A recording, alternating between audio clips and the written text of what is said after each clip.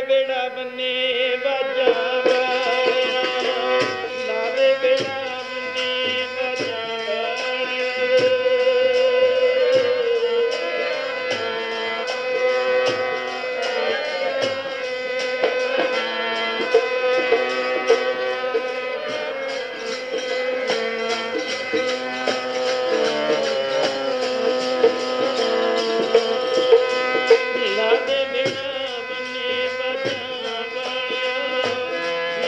Deus.